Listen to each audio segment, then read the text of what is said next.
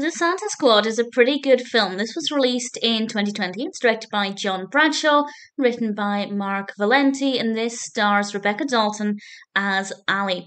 And Allie is looking after these two daughters of a, a wealthy business owner and she's there to also help prepare the house for Christmas, and that basically entails dressing the Christmas tree in very expensive ornaments and not really doing any fun activities. And of course, Allie doesn't really think that this is acceptable because these two young girls deserve to have a fun filled Christmas.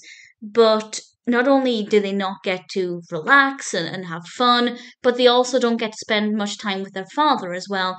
And this is something that's really clearly affecting them.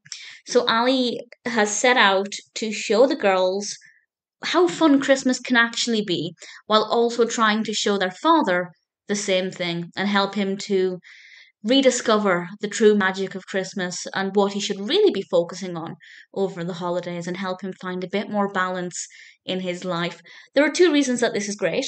One, all of the characters are very likable. Allie, in particular, is likable um, as, as our protagonist. To begin with, I wasn't sure if I'd like her. She had a couple of annoying personality traits. She seemed to be very over enthusiastic to begin with, which I didn't really get on board with, but it kind of mellowed out as the film progressed, and I ended up really liking her. The girls are brilliant as well. Um, we have Rose and Iris, played by Hattie Kragten and Molly Lewis, and um, we also have Aaron Ashmore playing their father, Gordon, who is generally likable. Obviously, I don't like his attitude and his behavior, but I think it's easy to get on board with his story and follow his part of the narrative and wish the best for him.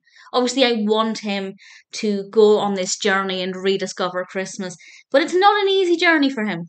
It definitely is a long process that is actually really enjoyable to watch. It's also very festive, which works very well because obviously Allie is introducing the children to these different festive traditions. So we have a lot of things going on there. Some really great Christmas music as well.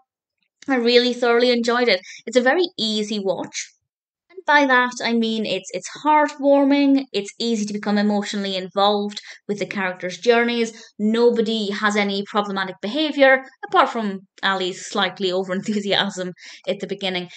And at no point did I think the narrative was going off in the wrong direction. So I, I rather enjoyed it. If you haven't seen The Santa Squad and you're looking for a pretty pleasant, very festive Christmas rom com, then I'd say it's a pretty good choice to go with. I definitely had fun with it.